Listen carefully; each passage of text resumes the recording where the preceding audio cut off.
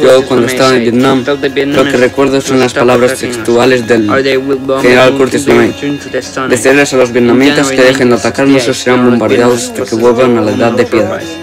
La potencia militar que nadie jamás hubiera imaginado el ataque por sorpresa del TED, una flecha que apuntó al corazón del poder estadounidense.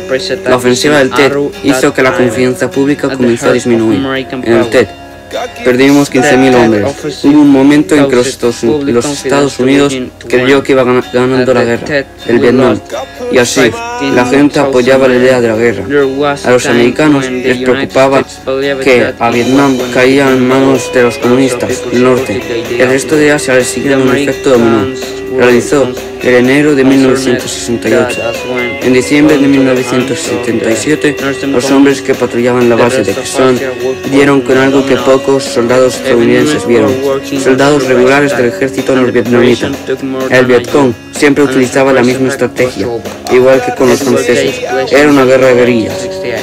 Se desplegaban, atacaban y huían, pero las bombas trampa mataron a unos cuantos de los nuestros, al igual que los francotiradores. American soldiers saw.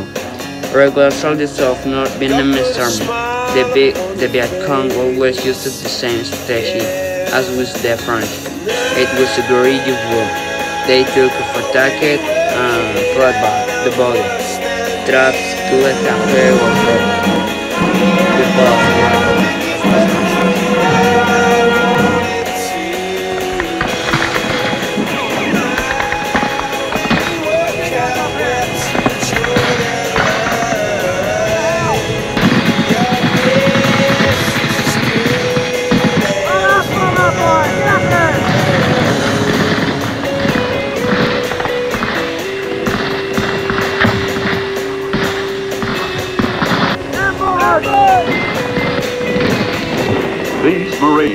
Estos marines de patrulla hicieron contacto con el esquema enemigo. Cuando el Vietcong, en una versión de su táctica favorita, lanzó un ataque sorpresa desde las sombras.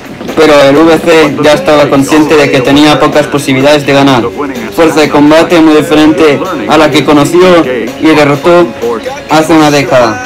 Sus propias tácticas guerrilleras se están volviendo en su contra.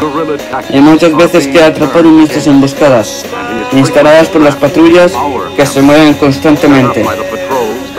Es a través del hábil uso de las patrullas de diferentes tamaños y tipos que nuestros comandantes militares en Vietnam mantienen contacto con el enemigo.